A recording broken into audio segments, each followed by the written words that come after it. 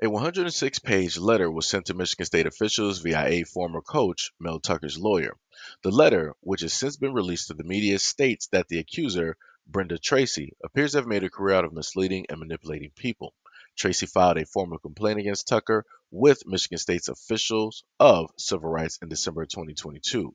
The university made Tucker's firing official on September 27.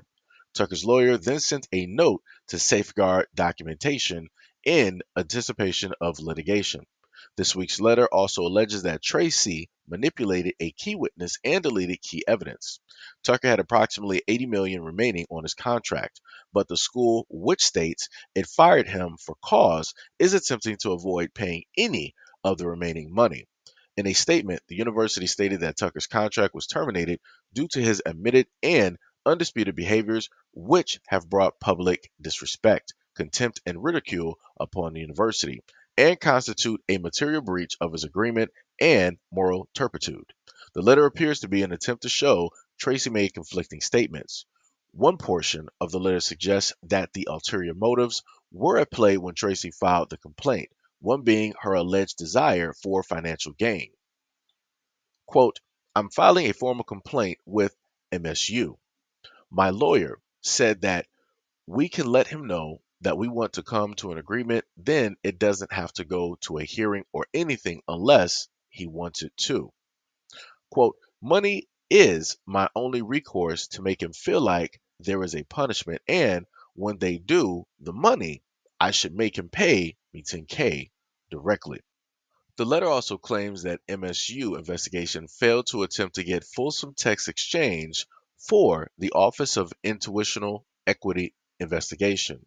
Tucker has argued that the interaction he had with Tracy over the phone was consensual. However, Tracy has previously stated that that was not the case.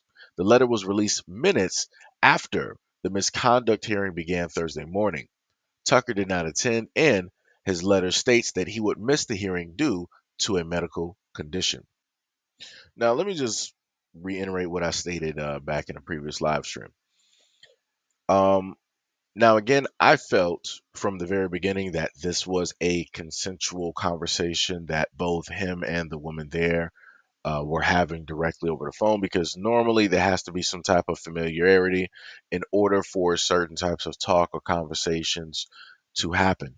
And again, somebody had to give somebody their number somebody had to agree to okay, like, hey, let's talk on the phone, let's, you know, whatnot or whatever conversations. And more than likely, a multitude of conversations outside of this have happened, which have had led to the okaying or the consent of the type of actions that the ex football coach decided to take at that point in time.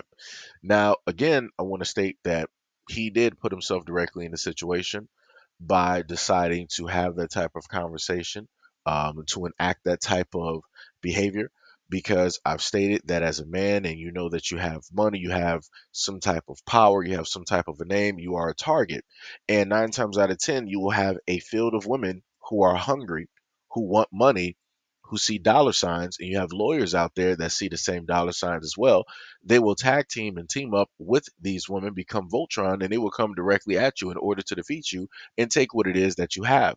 Now, again, this should be example to a lot of other men out there that have money that you are seen as a mark you are seen as a target and it would behoove you to make sure that you know uh, who it is that you are talking to the specific women.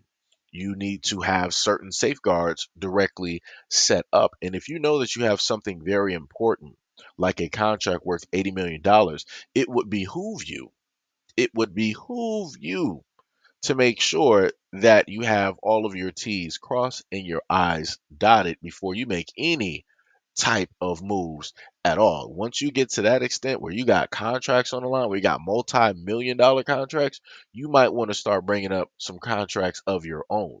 You might want to start bringing up some NDAs of your own so that things like this don't specifically happen. So that if any of these women sign an NDA and they decide to break an NDA and tell whatever information or release whatever they want to release, well, guess what? You're going to full fledged sue them.